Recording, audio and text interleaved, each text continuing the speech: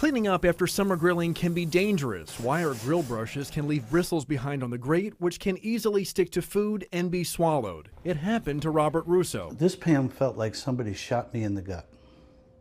I've never experienced something like this. I, I digested the, the wire, it got to my lower intestine, and it pierced it.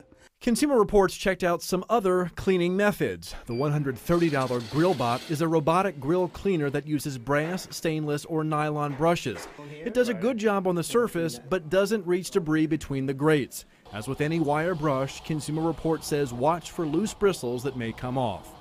Testers found that a simple ball of aluminum foil did a good job when used on a warm grill surface. Be sure to wear a heat proof glove or use a pair of tongs to protect your hands. Some grilling websites say placing a sheet of aluminum foil on the grill surface with high heat will loosen debris. But this is extremely dangerous, and grill manufacturers advise against it.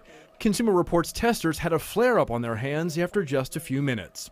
This tool, the $16 safety double helix from BrushTech, is made of twisted metal springs. It did well on a warm cast iron grate, but not as well on stainless. Traditional wire brushes do get between the grates to scrape off burned on foods, but if you're going to use one, you must check them regularly, and if the bristles are bent or loose, throw out the brush. If you clean with any type of wire brush after the grill is cool, use an oiled paper towel to thoroughly wipe down the grates.